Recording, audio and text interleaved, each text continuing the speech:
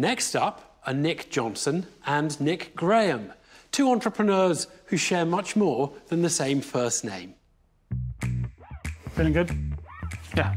So we know each other from school, actually, and Nick and I used to play rugby together when we were eight years old. Yeah. People say never start businesses with your mates, and uh, yeah, I actually kind of agree. Well, The two Nicks have a product which, though already well established across the pond, is yet to make a similarly big splash here in Britain. Trends typically follow from the United States over to Europe. We really think there's a huge growth opportunity here in the UK, and we're right at the front of that wave.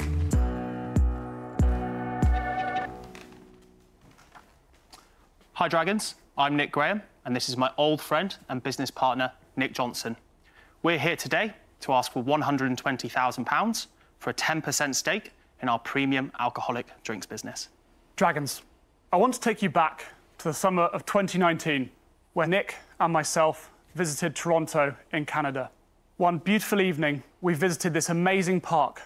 Our friend suggested that we try these drinks. He said they were called a hard seltzer. We'd never heard of it. They were light, refreshing, fruity, alcoholic, and delicious. Nothing really was the same back in the UK. We wanted to take that idea back to the UK and make our own version. And we named it after that incredible park where we first tried the drinks, Berczy. The result is three award winning drinks. We're on track to record £260,000 worth of sales uh, this year. We have international ambitions and plan to move into the US early next year. We'd absolutely love for you to try our drinks and we'd really welcome any questions. A new alcoholic drink category called hard seltzer is the trend on which Nick Johnson and Nick Graham are hoping to capitalise.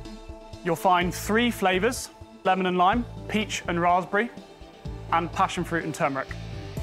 They're asking for £120,000 in return for a 10% share in their business. Peter Jones has sampled the pair's products, so has the all important taste test left him fizzing with enthusiasm. Nick and Nick. Yes. Yes, hi. It's good. I can just say Nick, and you're gonna, Yeah, one of you's going to answer. answer. Yeah. I mean, I've had the first one, which is the passion fruit and turmeric, and it tastes like an alcoholic Berocca. Well, I think that's positive feedback.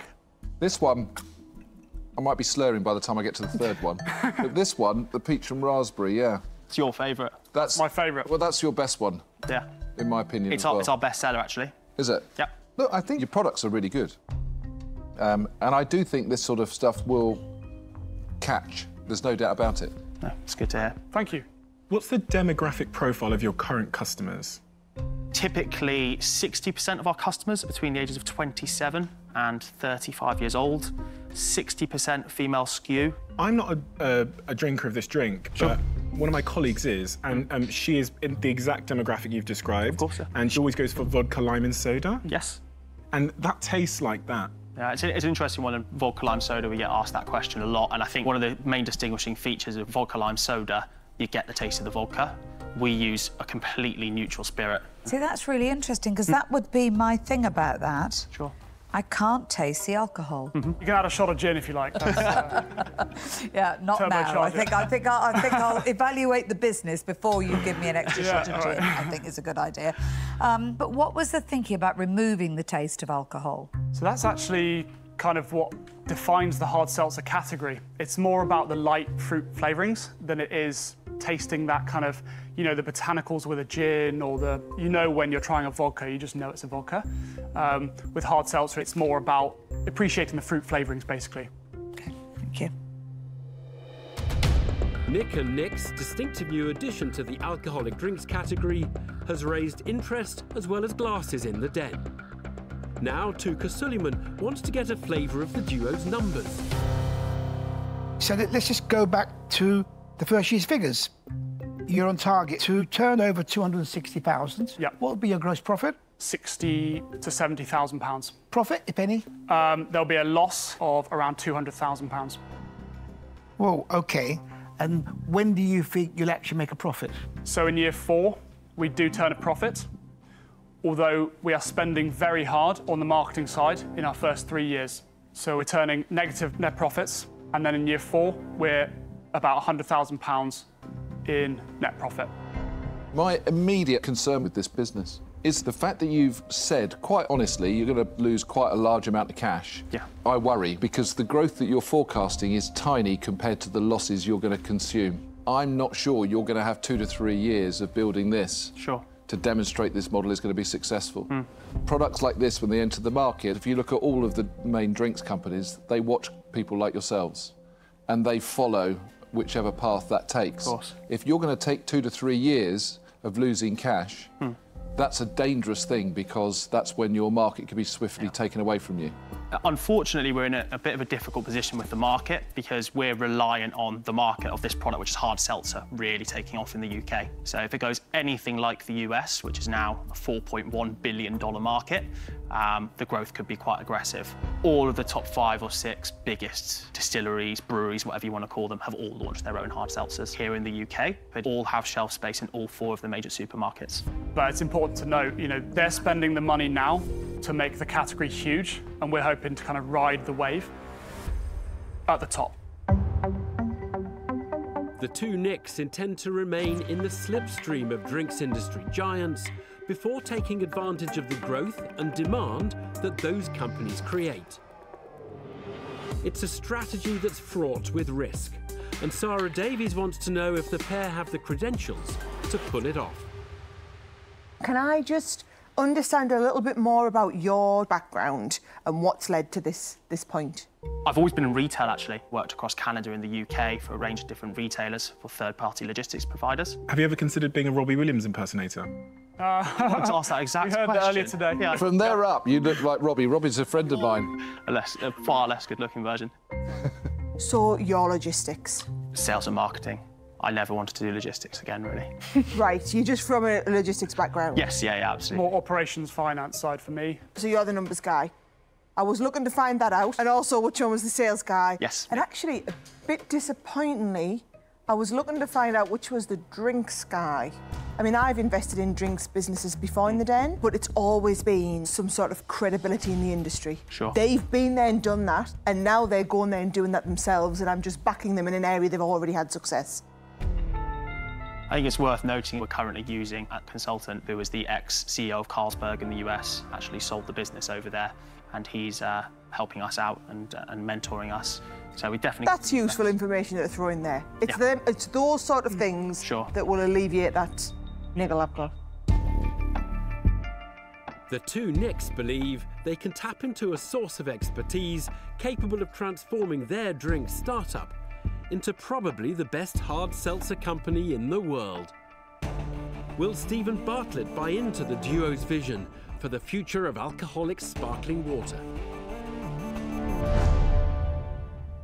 So this is really interesting for me because my brain's been a bit frazzled because here we have a product which I think is great. Hmm. And when I asked about the target demographic, great answer. That's exactly what I was expecting. But then I look back at the brand and it also matches the target demographic. So it's all it's all there. Hmm. Then I look down at my piece of paper and I look at what you're asking for. You're asking for 120 grand. And it's like a balance. Uh, 120k is a lot of money. The chance that I'll get that back in the next 10 years, you know, with a healthy multiple on it, is probably quite unlikely. Um, and for me, the risk level here is just, just out of my reach. So I'm going to say that I wish you the very best, but um, but I'm out.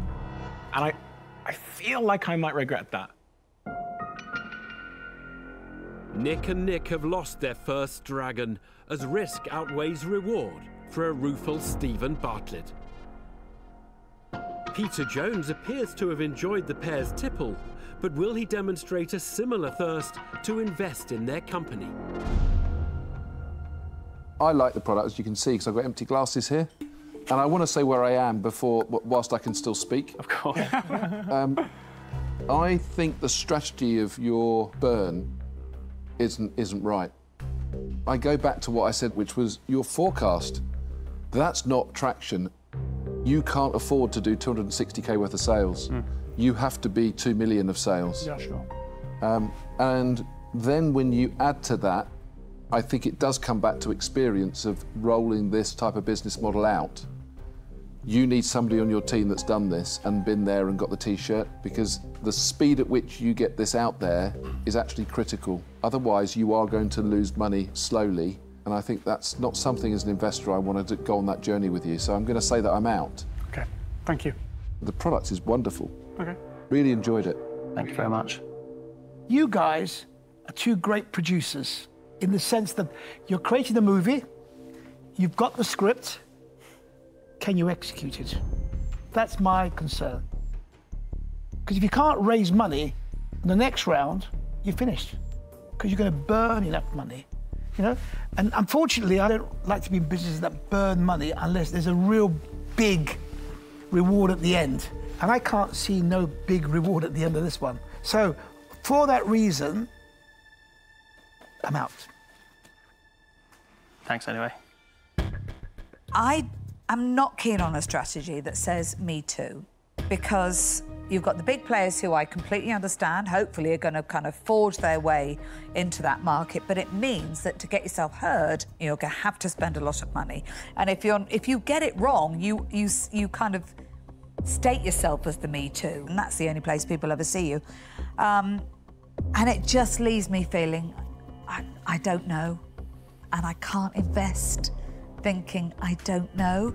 So I'm really sorry, guys. I, I can't invest. I'm out. Treble trouble for the two Nicks as Touker Suleyman, Peter Jones, and Deborah Meaden all declare time on the deal. Only Sara Davies now remains. Have the pair done enough to alleviate her earlier concerns regarding their lack of drinks industry expertise?